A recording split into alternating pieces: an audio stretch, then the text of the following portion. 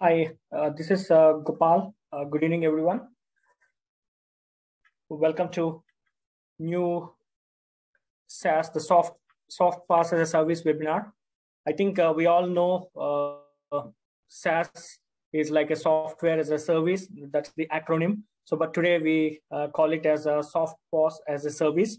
So, I mean, to quickly introduce, I'm Gopal. I will be the moderator for the today's session today. So, to quickly introduce uh, myself, I work as a director with financial services in Deloitte, based in Malaysia, but work work and support my clients in the ASEAN region. And today, I've been have three um, very good gentlemen with me, who you can see on the screen, who Jason Negan, who is the CEO and product architect of Bindo Labs. So Bindo Labs has been uh, serving thousands of uh, merchants worldwide uh, and with omni-channel POS and payment systems. So Jason is the uh, started uh, Bindo in New York 2011. So he will be uh, sharing his perspectives later. And the second person whom we have on the webinar today is Mr. Pedro. Pedro is the co-founder and managing director of Build 38. So he's an avid runner and holds a degree in physics, almost 20 years of experience in uh, telecom, mobile, cybersecurity, and then um, application security is something very close to his heart. So he will be sharing some perspectives on the security aspects. And then uh, the third person uh, we have on the webinar today is uh, uh, Mr. Angus. He's the director of uh, Minesec, come with around some solid years of experience in payments and securities industries in Asia. So he's the founding member, member of Minesec. uh, and then uh, he will be sharing his perspectives on uh, what are the implementations, implementation challenges Uh, during this soft POS uh, installation. So just to uh, set the context of today's discussion, uh, I would like to give a perspective of what's happening with respect to payments in uh, the ASEAN market. Uh, let me quickly share my slides. Hope you can all hear um, and see my screen. So uh, I think as we all are conscious uh, of the fact that uh, payments has been uh, um, disrupting very heavily in the ASEAN uh, region, um, because of multiple reasons, the young population in the region is increasing. Many of the population are digital savvy. Uh, there is an increasing people with respect to the usage of social media, internet usage. The mobile subscriptions is getting high. The, the internet penetration, mobile penetration is getting increasing, which we see is a very favorable sign to push uh, things in the digital uh, payments world. So we see uh, in the ASEAN market, uh, comparing many of the uh, countries like uh, the Vietnam, Philippines, Indonesia, Thailand, Malaysia, and Singapore, um, there is a significant rise in the digital payment user for total adult population. You can see some of the numbers here, um, the digital payment transaction value. So which is a, a, very clear sign of, of how all these countries in the region are moving towards a cashless kind of an uh, strategy. Uh, we also see a very significant push from all the regulators to move towards uh, accepting digital payments and how do we acquire some of this uh, uh, cash transaction and bring towards the cashless journey. That's where uh, the context of today on how do we put soft POS um, as one strategy or how you can convert, convert your mobile devices as an acquiring terminal to convert into payments so this is uh, getting very interesting in, in, in the region. So uh, and um, based on some of the analysis uh, Deloitte did previously, we, we, see majority of the collaborations we see in the banks in the ASEAN region is mostly coming from the payments uh, kind of an area, which is uh, clearly evident. Uh, the, the push that we are getting for the um, payments, both on the acquiring side and the issuance side. So, I mean, uh, this uh, phenomena has been significantly increased uh, during the uh, the latest uh, pandemic. So, there was an interesting uh, sentence I was reading last time, like never let a good pandemic or a bad pandemic to go waste. So, maybe in the digital payments world where we are today, I think because of this pandemic, the, there was a significant rise in the usage of digital payments, and then many of the banks we see in the region and globally they've increased their contactless payment. Many of them try to digitize the whole processes and and uh, so some of the uh, merchants, the SME and MSME, they're also moving towards accepting digital payments and all. Although uh, we see there is a significant push happening, but there are some fundamental challenges. Like many of the merchants and the retailers, they're still worried about the security challenges that are um, um, currently uh, available and security cha challenges that are associated. And then uh, there is a constant uh, pressure on the MDR and the interchange and their uh, ever-changing uh, regulatory compliance, which they have to adhere to. and then the cost of the cost of owning it terminals is uh, quite high. And then if someone wants to embark on this uh, new ways of uh, soft POS and all, there are still some implementation challenges and all. So I mean, today with that context, I, I, I would like to set the uh, stage today to, to see what, what, are all the various ways we can uh, look at in developing these things. And then in uh, the format of our webinar will go like this. in the next 45 minutes, we'll have our three gentlemen. We, they will share around 15 minutes kind of a time on various aspects. So, so first I would like to start with Mr. Jason um, to give us a perspective on uh, what are the key considerations or what is the way of success in the soft POS uh, business um, in the current uh, scenario. Uh, Jason? Yes, thanks, Gopal. Um, thanks.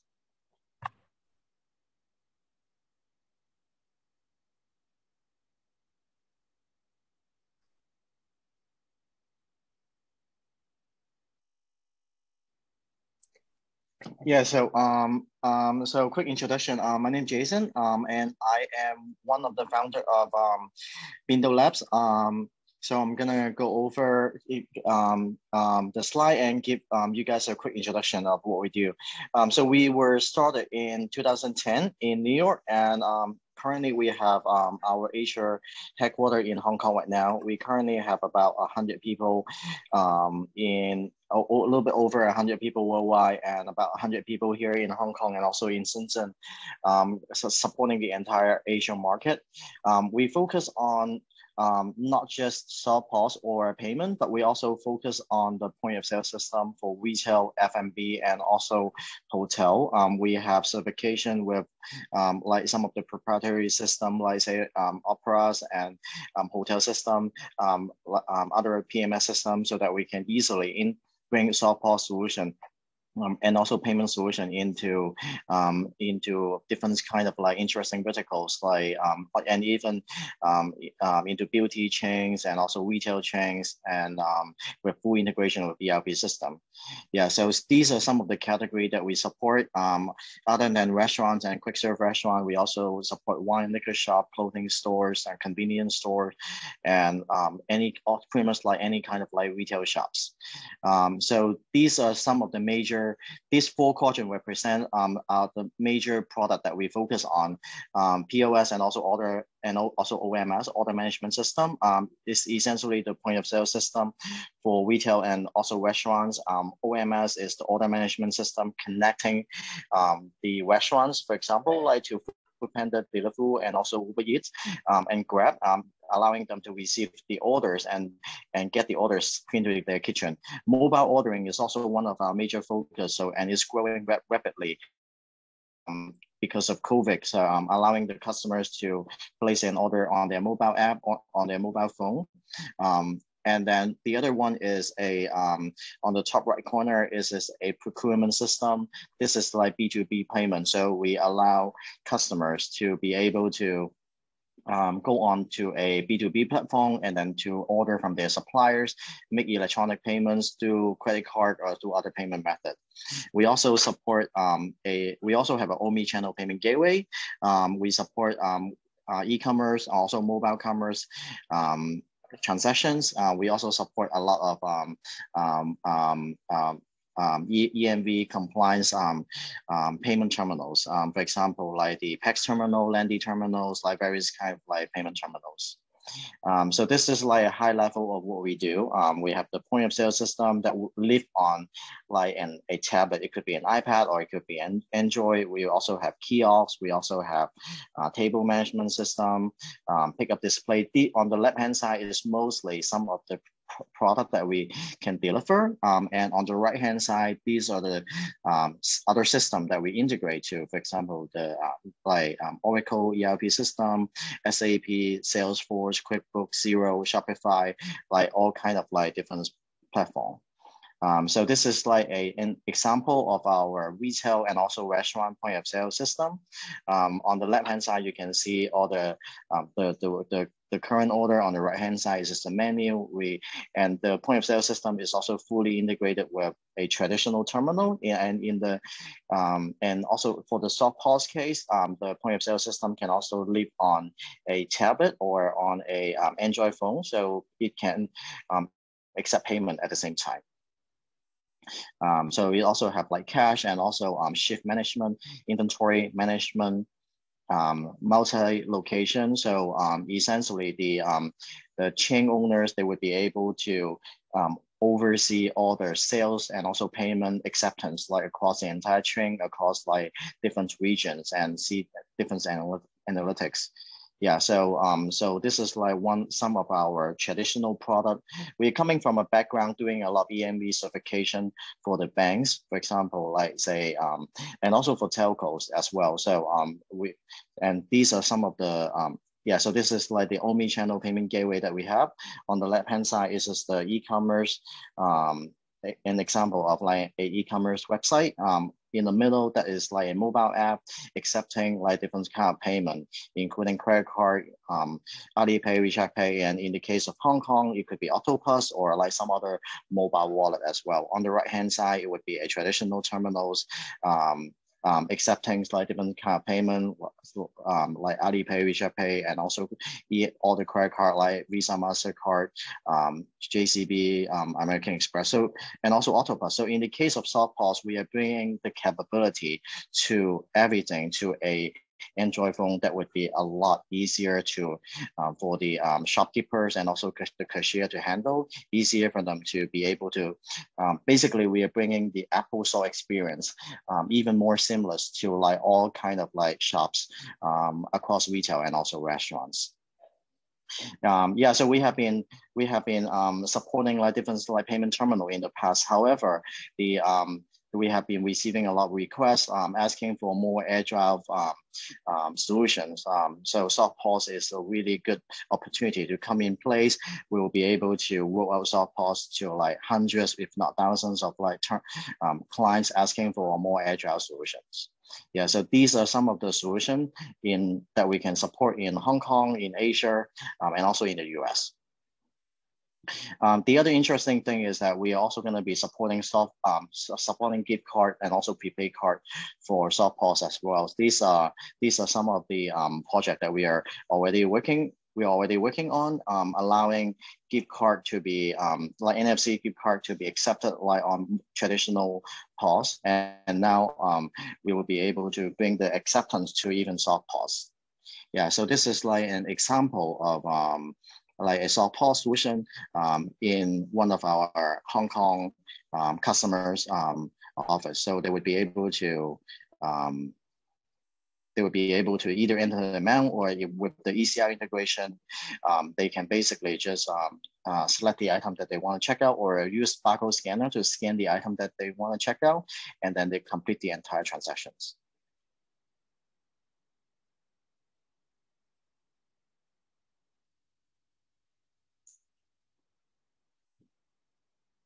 Yep.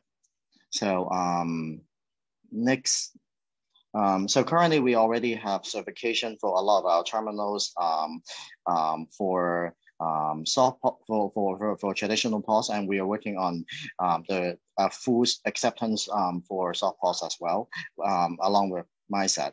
Um, and then the other interesting thing that um, that you can see right now is that on the soft POS that I showed you earlier, we'll also be um, accepting, uh, allowing the um, the the um, the restaurants owners, uh, restaurants operator, cashiers um, to to place an orders and uh, like through the mobile app, and then they can they can basically um, um, choose every choose everything on the menu. They would be able to go through the entire checkout process and also make the payment on the same device.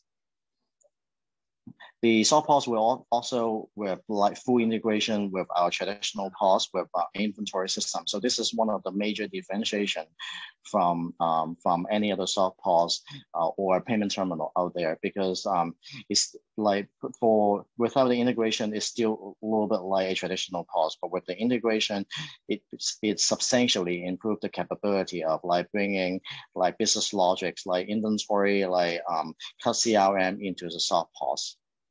Yeah, so this is our team. And um, if you guys have any question later on, can ask here or feel free to um, reach out to me later on. Thank you so much, everyone. Thanks, uh, Jason, for sharing some of the use cases uh, you're uh, working on and uh, uh, the clients you're supporting. Uh, so thanks all the participants for the good questions that are coming up. So I'd like to ask the question to the relevant uh, panelists uh, today, but um, I would like to go through one round of uh, the presentations from everyone, and then I'll uh, take up the questions. But uh, please uh, feel free to get more questions into the chat. So um, just moving on to take to the next level of the webinar, I think uh, one of the key aspect, I think uh, we all see the digital payments are increasing. The innovation is on, uh, we have to manage the innovation on one hand, and at the same time, you need to be managing the, the risk uh, element on the other hand. So there is a growing uh, concern in the region and uh, globally with respect to the security challenges of soft POS. So maybe I get, I get um, Mr. Pedro to walk us on some of the challenges in the soft POS system and um, and to share some of his perspectives. Pedro. Thank you very, thank you very much, Gopal, for the for the introduction, and thank you everyone for for joining uh, today for this um, webinar. Hope you find everything uh, that we say interesting, and um, as uh, Jason and, and, Gopal mentioned, happy to take your your questions at at the end. So from my side, I'm uh, Pedro Hernandez, as you can see by the background. Um, I work for Build 38. Um, at Build 38, basically what we do, we enable um, innovative use cases uh, to be deployed that um, have a mobile application as, as one of the key uh, elements. And we, we do that focusing on the security. So we make sure that a mobile application with all the assets that go into, into that, as well as, uh, as the web service that um, uh, it is connecting to, is safe and, and secure and free from, from fraud. So particularly on, on SoftPOS today, I wanted to talk you about the, the security challenges as, as mentioned in the, in the title. So to give it a bit more of a structure, um, I basically will cover uh, three dimensions uh, of the security challenges and the security um, points that have to be addressed. So the first one is what we call the regulatory aspects or regulatory dimension. Uh, that, as you know, in SoftPOS, because of the um, acceptance of the contactless payments that is an industry already established, there are several, we can call them regulators or, or, or um, uh, companies that establish guidelines and, and um, requirements from the security standpoint. And here we are talking about, uh, for instance, uh, PCI as an organization. We talk about the, the schemes, the payment schemes that um, um are basically um, um, sponsoring the, the corresponding networks of payment. And that's one of the key key elements and uh, probably the, the first one that one realizes when tries to do a launch of a soft POS, right? Because you have this list of requirements that you have to meet and most of them are um, security features that have to be integrated in a solution and that's very, very key. So I will talk about that one, but I would like as well to add these two other dimensions that you see. Uh, one of them is uh, the life cycle.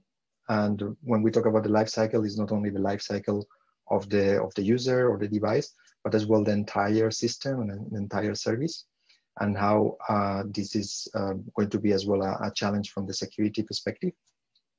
And the third dimension is the the reach, because basically we we are all here for the business, so we we want to launch a soft solution that is able to run on as many uh, customer phones as possible.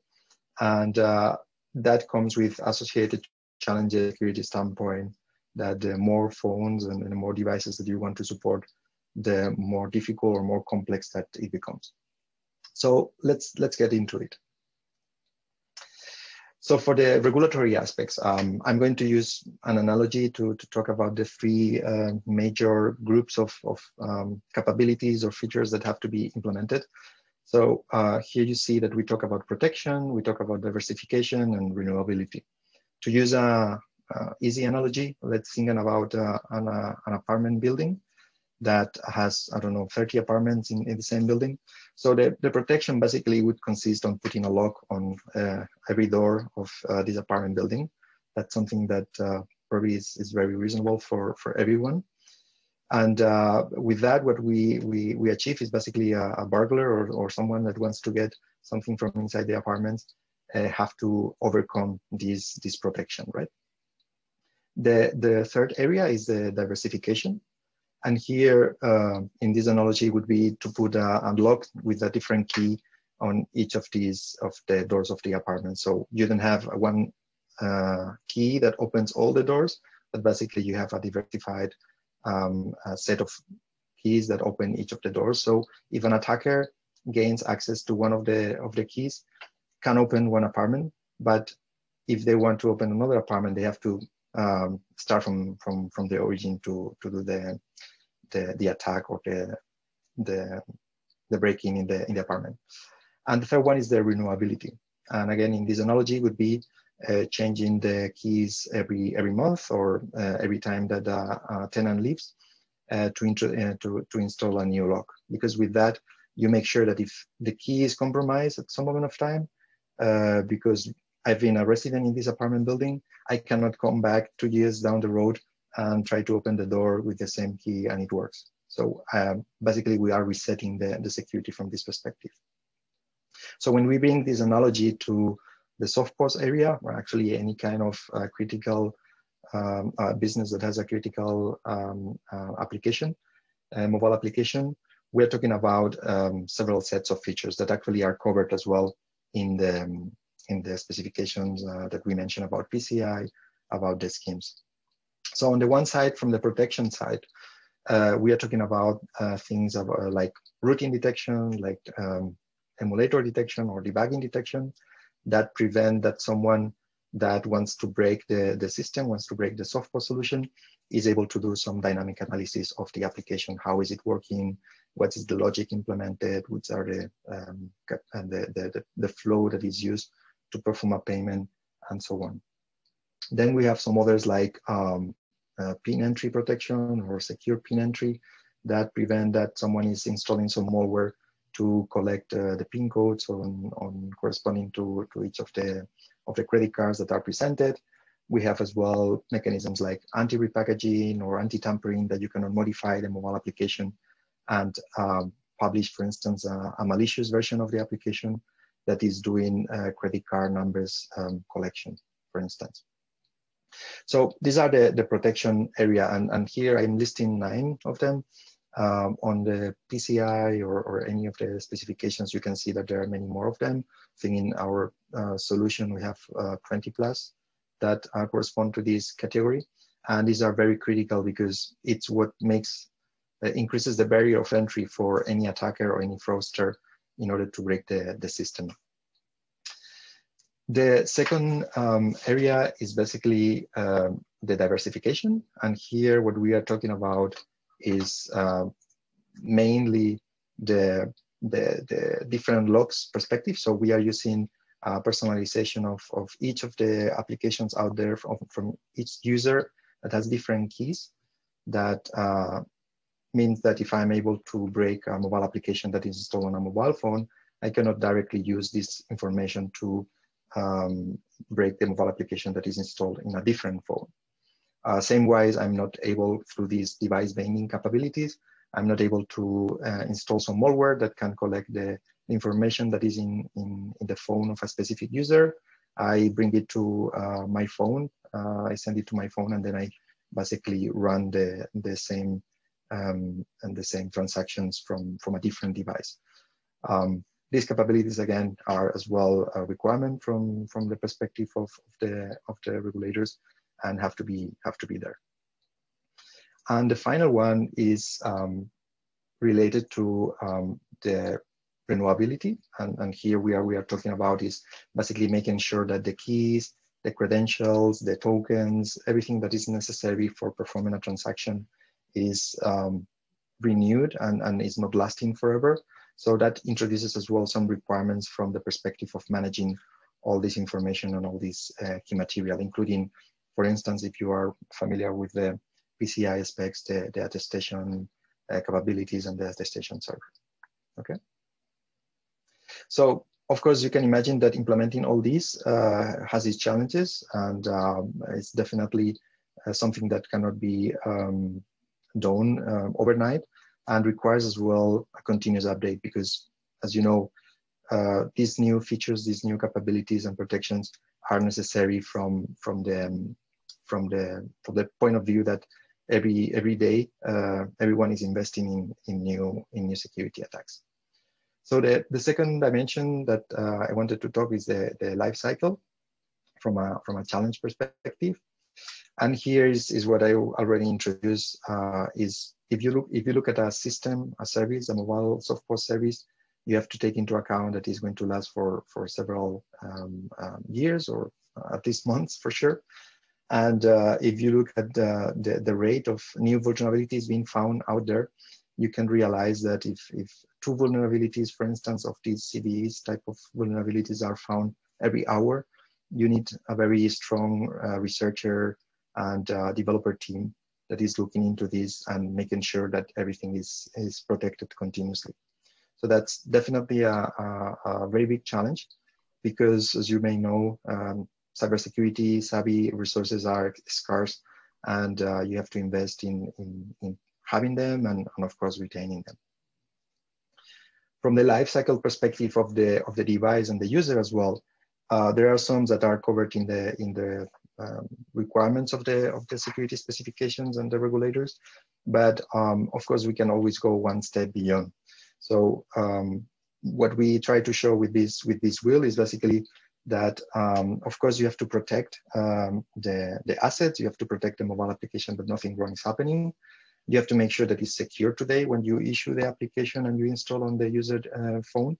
But then you have to be able as well to detect um, that something is, is going wrong. So you install today the application in a device that uh, is not rooted, but then um, two weeks down the road, the device is rooted. So you, you would be willing to have an, uh, a way to be alerted that this is happening.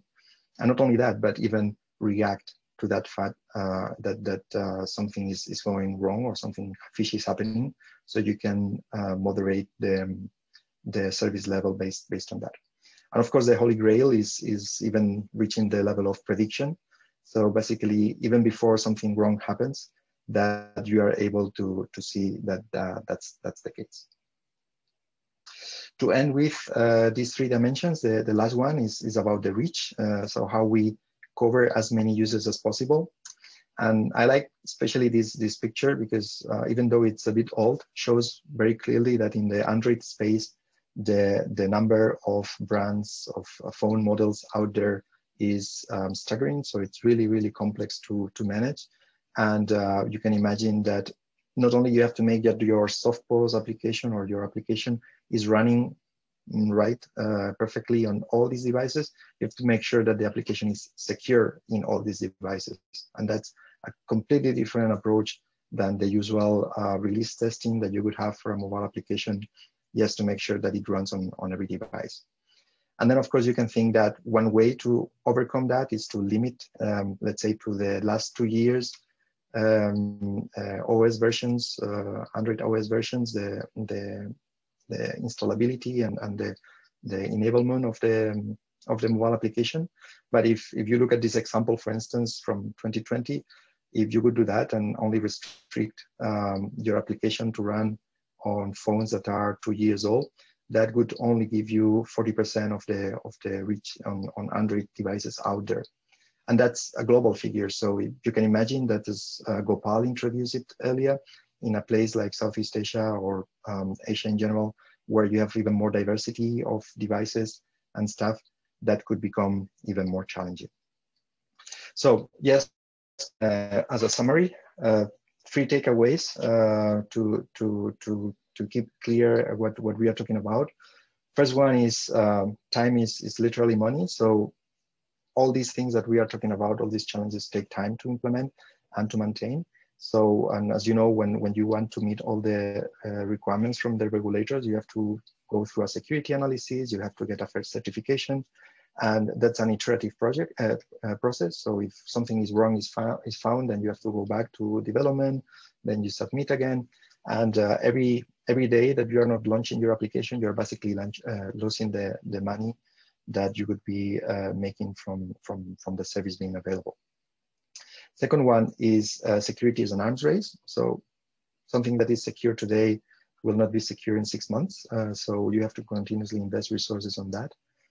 And uh, to end with is the complexity that comes with, um, with the uh, reach. So the more users, the scalability of your solution will depend a lot on how secure you can make the, um, the, the solution on the devices that are not the latest ones or the, or the, or the, let's say, top tier of the devices.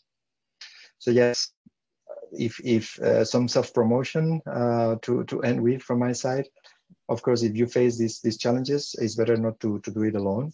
So from, from our side, from Build 38, uh, as we've done with, with our partners here, uh, happy to, to cooperate and, and help you in this, in this journey. Gopal, back to you. Thank you. Thanks, uh, Pedro, for giving the insights on the security aspects. Definitely cannot be ignored. So um, moving on to the next part uh, of the conversation, I think we are uh, doing good on time. So means so far uh, you have heard what are the key success or considerations required for soft POS business. We we heard about the security challenges.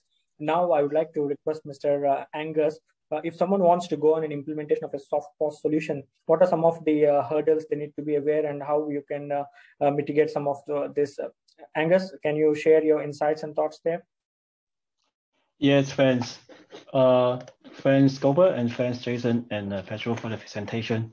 So in this session, I um, I, I will try to talk about the challenges and also how to get over the hurdles in a uh, soft POS implementation. Okay, so I think before talking about um, all the challenges, I, I try to understand actually why we need soft POS. Actually, soft POS is aligning the development of the payment ecosystem. I believe uh, most of you attending the webinar actually are coming from the payment uh, industry. In the last like five years or even 10 years, we have been seeing the changes in the payment ecosystem.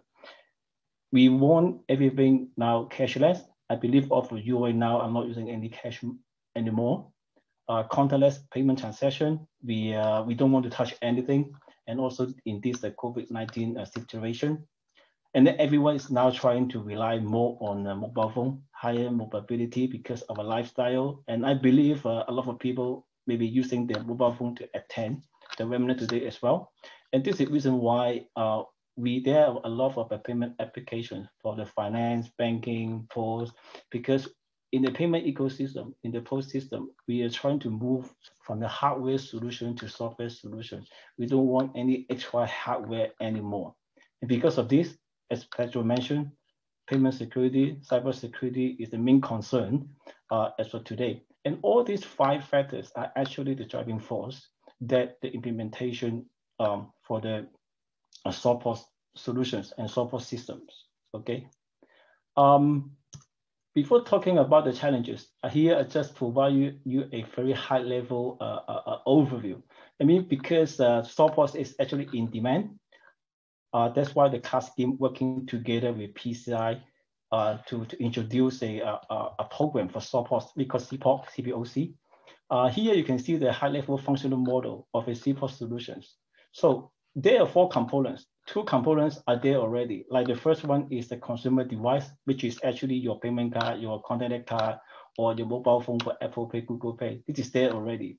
Another is the transaction authorization system. That is a typically payment gateway acquirer got nothing to change to use it with soft POS. And then for the soft POS, the new the newly introduced component is the what I highlight in red is the COTS. COTS is a commercially off-the-shelf device. It basically is an Android device with and NFC enable function and then running and a CPOC application running on it. And the CPOC application is like a payment application, payment post application with the, all the security protection maybe uh, roughly mentioned by Pedro previously. And also there's an extra component is a backend uh, system. It's also defined by PCI that you need to have the attestation and monitoring server. So you can see there are all two key components that you will need to develop uh, to deploy a soft POS uh, solutions. So let's go talk about the challenges. In terms of the challenges of a, um, a, a uh, implementation, typically I can define there are uh, three areas. The first is about the technology challenges. I think you heard from Pedro a lot about the security. You heard about a lot from uh, from Jason uh, how to come up with uh, everything bundled together. So here you can see a very high level board diagram for what a COTS platform should have. Um, you can see there's a lot of uh, a jargon, a lot of uh, uh, elements, components talking about the security. You have the software protection, key management, context kernel. Typically, to understand a, uh, or to develop a software, you need to understand technologies in three areas. First of all, for the context kernel, how can you develop a secure and modular context kernel and application for your existing uh, software application and the future application? All this, you need to understand the functional requirement, security requirement. You understand security requirement, then you need to protect this one. How to protect this? You need to have up-to-date internet protection, uh, like cryptography, uh, crypto encryption key, authentication, attestation that you need to you need to have in your in app in your device application, software application. What I mean is, and also as requested by PCI, you need to have real-time security uh, uh, monitoring, which is attestation and monitoring servers. So actually all these uh, technologies, you have to understand the requirement, you understand from the functional requirement, uh, security requirement, then to, to develop your software solutions. Um, let's say you you understand all the technologies already. Now you move to the next step is the implementation. Then implementation bring along bring along with you other challenges. Development. Uh, you you know the technologies, you know the requirement. But how can you develop and integrate all the all, all the technologies together uh, to come a solution combining with the functional and the security requirement? That is the challenges you have to tackle. Another one is okay there is a, a security requirement, how to track the balance between the performance and the security function, how to find the right security combination for your software solutions is also another challenge for you. You develop yourself, how to develop, you buy or whatever, that is another security uh, combination challenge you have to tackle. And then finally, the quality software in the front end and the back end have a good performance up to the standard uh, uh, uh, uh software solutions so all these the challenges you have to take take care and tackle during the development phases to launch a, a, a, a very good software solutions. And then the other challenge before you launch a product that is about certification. Um, maybe a lot of, lot of you have uh, experience in certification. So as I mentioned before, uh, right now software is governed by uh, PCI. So you need to go through the PCI support US certification to have your uh, software, uh, software launch to the market. So in this identification, after you develop the product, you have to understand what are the requirements, what are the duration requirements, what are certificate requirements, how to deal with the laboratories, what are the materials they're looking at, uh, such as uh, solution maintenance, it cover about the, uh, the procedure, human maintenance, everything. And on top of security, also there's uh, some other uh, uh certification like uh, uh contactless level two Visa Mastercard. So all these certification also and is something outside of development. Maybe, and, and you have to think about uh, how to get your product certified. So this is challenge you have to think about during the implementation. So let's say you have the technology, you understand already, let's say you implement already, you get certification already, and the next challenge is operations. Um, I mean, on the ongoing challenge, ongoing operation, because right now maybe you start your support support like different uh, scheme like Visa, Mastercard, but later on you want to add more card scheme. So how to add more card scheme, more context kernel? There is a challenges, and the cyber security keep changing every day. The attack, there may be some vulnerability found uh, from day to day or whatever periodically. How can you do the patching for the vulnerabilities? And the white-box crypto security function update, how to keep up to date to the relevant technologies in terms of the payment, in terms of security. There is also uh, constant challenges that you have to face yeah, during the operation. Of course, there's some uh, challenges related to maintenance, like uh, uh, uh particularly like something like uh, how to maintain a secure key, encryption key update, device listing, add the device, remove the device, fit the license management, and maintain certifications let's say you want to add some functions, add some features uh, to the existing software solution. How can you do the uh, certification? Do you need to do the uh, PCI again or to, to do the Delta again, or whatever, whatever. So all these are challenges you have to think, think about doing the operation, okay? So with all these uh, uh, uh challenges, um, I will go and talk about some uh, um, methodology or the approach people are trying to tackle the challenges. Um, typically, um, people will be thinking of a two-way to tackle the challenge or to, to support the uh, implementation of the soft POS. I, uh, I, I, call it like a, a, a build and buy, a build or buy solution. For build is in-house. Um, you can, uh, in-house is very straightforward that you deploy your internal resources. Uh, you build your own team to develop the soft POS solution from scratch.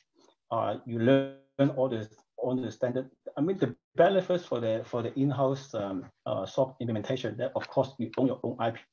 You have full control of the business model and also full control of the product roadmap. You know uh, what to do next. But there are some considerations you think about because you need to learn the technologies in the payment functional, EMV, PCI, and then security that you take longer time to the market. And then you your existing uh, team, development team or R&D team may not be good for the uh, software. You may need to invest the heavy uh, uh, team on R&D and technologies. There's some consideration and the ongoing support, maintenance support, technology update think about. And of course, the full certification, because you're doing everything from yourself, that you need to think about, uh, go through all the like PCI, EMV level two, uh, scheme certification. And it, all this can lead to business risk. Uh, support is something new, but promising. But uh, if you want to do something from from from uh, uh from the beginning by yourself, that the investment, the initial investment could be huge. Another opposed extreme is uh, I call it buy, like a full solution acquisition. It means you just buy like a, uh, a off-the-shelf uh, uh, certified software solution. You just uh, like do simple integration, just say, use the software solution from, from others, uh, become your solutions. The benefits is quick time to market, uh, short uh, term low, low business risk because you don't need to invest anything. And uh, certification, you just rely on the certificate they have. But the consideration for this uh, full solution acquisition or buy solution is you need to 100% rely on your provider you cannot control your roadmap. You cannot control what they're going to do. The scalability, sustainability, expandability, you have to think about. And you may need to share some business information to them because uh, in a full certified uh, solutions, um, payment gateway could be into scope. It means that there may be something uh, sitting in between you and your customers. That means you need to share some information to them. Maybe some are sensitive. That could lead to a, uh, a midterm uh, high business week. So this is uh, something two extreme case between uh, buy and build in-house and full uh, solution acquisition. And here actually Minesec is introducing something in between. Uh, it's a white label SDK solution. It's something between buy and build. The benefits of the white label uh, uh, solution is you can make use of pre-certified or pre-evaluated components in, in, in the SDK to develop your own software solutions. So what you can do is you just focus on your own business model, business logic, and the high flexibility in-house development. You just deploy your existing team to, to, to make use of SDK provide, provide by the white label solutions to do the API. So you can also capture the market quickly, fast deployment because they just provide the API and just use the API to your development. It's a faster ROI and music uh, uh, scale your cost to the revenue. And the one benefit that is that you still keep your own brand, means the solution is leader at your own solutions as you develop everything by yourself. And for consideration of course, this one is you need to collaborate with a trust, trusted technology partner. Uh, they have a clear roadmap, what are going to do next, what are the uh, payment channels they're going to add, um, and in terms of technology, what kind of function they're going to support. That you have to think about. And you still need to go, because it's still listed at your solutions, uh, there's some lightweight certification process like PCI. The reason I call it lightweight because uh, the SDK components, the white label components, the components and functional or security, they are pre-certified, evaluated. So the lab uh, can we use some result for your own certification. So it can help you faster to the market. So this, the third way is something between buy and build. It's a white label solution may be good for your consideration to develop your own solutions. Um, here, just uh, some uh, uh, use case from the, from the customers, from some partners. Uh, by using the SDK, you can see the results shortly just in five days. So what you need to do is just to download the SDK to get access to API document, we provide some sample source code. Then you can quickly do the integration seamlessly with the existing kit uh, uh, UI and also coexisting with some other payment method. You can provide a first version demonstration your customer already. And then after uh, the customer behavior demo, then you won't have a really committed to develop your source code, make it roll out. Typically six months, you can have every ready because you're leveraging the SDK uh, uh, uh, functional security requirement. You don't care about this one. You just focus on the business logic development, level three application development, and you just leverage your certification, uh, the certification kit from Minesec. We use the result, and this can help you reduce your planning and investment risk because you have key role method certification. When you go for certification, where you can launch, pay as you grow, um, and of course, we support the future uh, payment kernel update and the territory update. So this is the typical use case uh, for rollout, like take around six months that you can launch your your solution already by um by white label solution. So how can we achieve? Because Minesec is a we consider Minesec is a business enabler. We enable our customer to develop their software solution to create quicker revenue and profits by their acceptance solution via support uh, how can we achieve with, with Minesec white support solution? You can develop a support still under your own brand. You just control your business logic. After the setup, pace as you grow. And then you can just integrate in weeks. We provide a high performance uh, uh, security and possession SDK attestation server and solution actually ready for the PCI certification. So this is something we bring the values to the to to the uh, uh, software solution provider who want to launch their own uh, solutions. Here we just uh, provide very high level uh, broad diagram of a Minesec white label solution. You can see how can we achieve that. So from the front end side, our SDK called MyHades that come with the payment kernel like Visa, MasterCard, and with the security function requested by the uh, uh PCI already. So that's why which is CPOC ready SDK engine. We have a EMV, security API, key management API, binding security protection, and we provide the API for the customer to develop the CPOC application, software application with 100% uh, aligning with the business logic. And from the backend side, with the MySuite, MySuite is the backend uh, uh, testing server. It already complied with the PCI DSS uh, uh, requirement with HSM monitoring and also the API for your for your implementation. So you can see that in this model, uh, we don't really touch your transaction data. It means your business is still your business. We don't we don't really touch your transaction. We don't touch your customer information. And this is the beauty of a white label solution instead of a, a, a full solution acquisition. So in summary, Minesec can help you your software development in four areas. Integrate off-the-shelf SDK, API, demo code. You can integrate in the weeks. Monitoring, we have real-time monitoring check uh, uh with backend server, everything uh, to monitoring the, the, the, software solutions.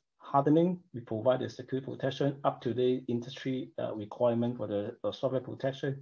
And of course, the management, lifecycle management, white bad listing, encryption key enrollment, something like that. So this is um, what I want to share about the uh, implementation challenges and how to handle by the white label solution. Okay, thanks, go back. Uh, thanks, uh, Angus, uh, for sharing the insights on how do we approach some of the implementation challenges of soft POS. So before I move on to some of the questions to other uh, uh, panel members, maybe one question I see keep coming, uh, which is mostly related on the PIN. So maybe you can give us some insights like, is there any standard for soft POS solution with pin entry? And how do you work with uh, how do you work in any offline pin regions? Okay. Response for that? That is a that is a very good question. So you can see from my presentation right now, uh, PCI launched the the software solution is uh, without pin entry. So for, for every uh, software solution without pin entry, you can just go for the PCI certification and all the card scheme will recognize. But there is demand, like some region or some use case, they will need the pin entry. So for the soft POS, pin entry is an optional configuration. But for pin entry right now it's still under different pilot scheme for different uh, uh, card scheme. Let's say Visa, they have the tap, tap to phone uh, plus pin program. Uh, Mastercard also have that one as well. So if the solution want to support PIN, they will need to talk to the scheme separately to join the program as a pilot. That is uh, to support PIN for the support. Having said that, actually PCI is actually in the process uh, upgrading uh, the, the CPOC solutions or upgrading the CPOC standard to support PIN. So PCI have the roadmap already. Soon, sooner or later, maybe soon, soon as this by end of this year or early next year, uh, the program will be upgraded to support PIN as well. So at that time, there will be CPOC. Uh, I don't know what exactly the name is. At that time, there was the PCI uh, CPOC plus PIN program governed by the PCI. It means a software can also support the PIN entry already. Okay. Uh, yep. Thanks, uh, Angus. Maybe I move to uh, Mr. Pedro. I think this question is quite relevant to you.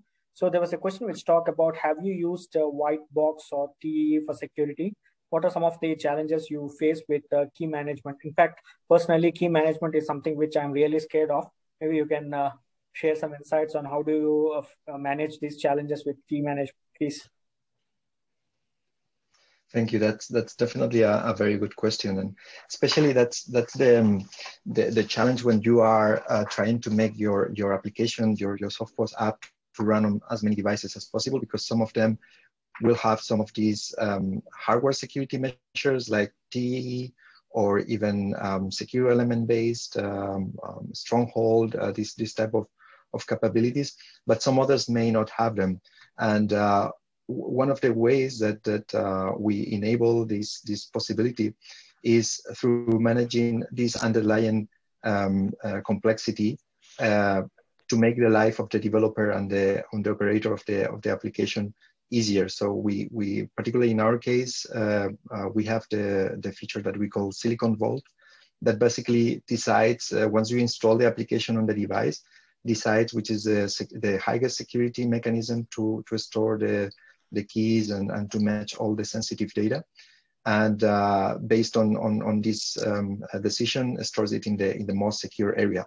And we go back to these uh, three uh, strategies to protect. So the moment that you have a higher uh, protection, uh, then you can relax a little bit the renewability. So you don't have to renew the keys as frequently if you have a more strong area to, to store the keys. While if you have a, a less secure area, like for instance, white box, as, as you mentioned, uh, probably you, you would have a strategy that you are increasing the renewability. So um, the expiry dates of the certificates are shorter, and the, the, the keys have to be um, um, renewed more frequently. So that's precisely all this complexity that comes with the with the key management that you are mentioning that, that you're scared because it's it's very critical and it's essential that is um, addressed in, in the, in the right way because if not um, the possibilities of compromise uh, can be can be very high okay okay Thanks. I think there is a follow-up. I think it could be relevant to you as well. There is a question which asks about how much of a limitation is uh, soft POS being Android only to your business? Will this hinder growth? Or do we need to support devices uh, that are supported by Google 8.1 and above? Uh, any insights there, Pedro? I mean, from, from my side, uh, just, just to mention that uh, in principle, from, from the security standpoint, uh, you, you, have no limitation on supporting iOS or Android, but then you have the, the constraints with regards to the NFC interface. So um, as I said, even though from the security standpoint, there shouldn't be any issue, I think it's more um, an issue on the on the capabilities for the, the contactless reading of the of the um, uh, device, the contactless card or the contactless um, uh, OEM Pay. I don't know, Angus, you, if you have um, uh, any insights on on that one, which yes, which yes. is the impact from. Yes, I think for, for for this one, I, I I can add a bit. So right now, actually, uh, you're right. Actually, for the PCI requirement support is actually um, for Android only. It's not supporting the uh, iOS because the iOS the NFC device is not open for the the, for the reading, reading device. So right now it's only for the Android device for the support. And regarding the and regarding the version, uh, typically it has to be uh, version eight or above for the Android. Okay. Thanks, okay. Uh, uh, both of you. Like, um, one of our uh, panelists uh, has to drop off because of some technical issues. So all the questions with respect to Jason, we will take with him offline. Then we will try to uh, circulate uh, the responses. Uh, I think Angus, there, there could be another question which you might give your views. So there was a question which talk of what what is the future of CPOC and SPOC will either win out in the end or just coexist for a very long time. So any views there, Angus? You mean the soft POS and, and which one? And SPOC? Yeah. SPOC is SPOC, right? Yeah. Yes, yeah. Uh, okay, okay. So actually SPOC, um, again, I may be 100% correct. So SPOC is, you can consider is the first version of uh, soft POS, but actually it's only purely for the uh, pin entry only. So it means you still need to use a contactless reader. The contactless reader will come with the contactless uh, uh, payment kernel, and you just use the, um, the, the, the mobile phone as a pin entry device. Okay, so this is the first version of soft POS, but not exactly, to me, it's not exactly soft POS because you still need to use the MPOS.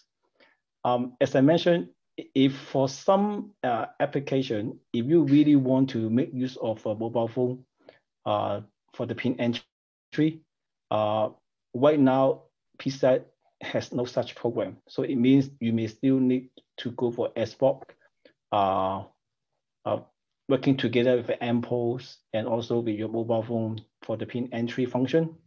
But as I mentioned just now, and some uh, uh, uh, uh, customer ask, in the future, the SPOC will be upgraded to support PIN as well.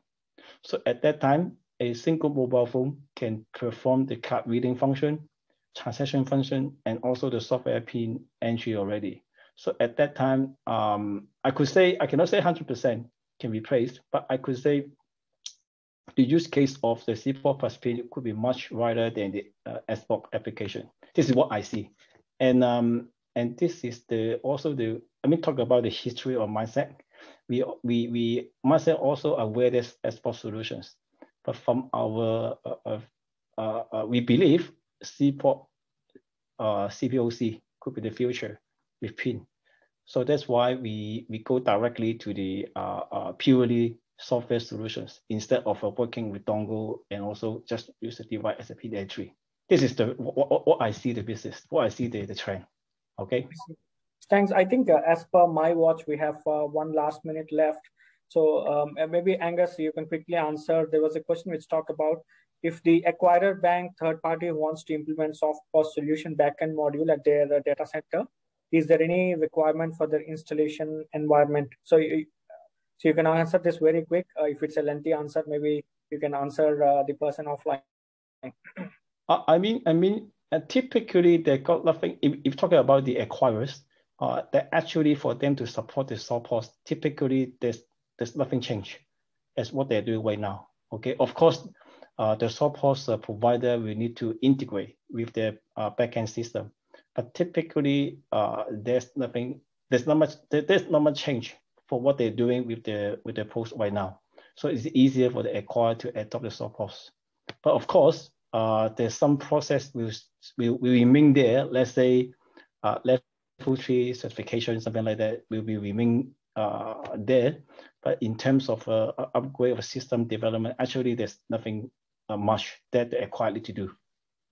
I see. So thanks for that. I think uh, we're almost there. Maybe on a concluding note, maybe Pedro, I'll give the last chance. Uh, any uh, concluding note on the future you see for soft POS uh, solutions in the region? less than one minute time you have yeah definitely um, it's it's um, in such a dynamic region as, as asia particularly it's um, going to enable the the acceptance of contactless payments even in more places that's basic for the scalability of the of the accept, acceptance and the uh, acquiring business. So i'm pretty sure that there is a very successful and and um, a big potential for for all these in in the future. And working with with uh, partners like like Minesec and and Build 38 is um, making it easy to to go faster and uh, with a best return of investment into into this market. Okay thanks. So i wish uh, all the best uh, for all three of you And uh, thanks the audience for the good questions that are coming up. We will try to, I mean, apologize if we couldn't manage to answer all the questions, but we will uh, uh, try to provide offline. Uh, but um, uh, thanks uh, once again, all the panelists for giving your views. And then we will be sharing some of the slides I mean, after doing some quick sanitation. thanks and have a, a good evening. Thank you very much. Thank you. Thank you, everyone. Thank you.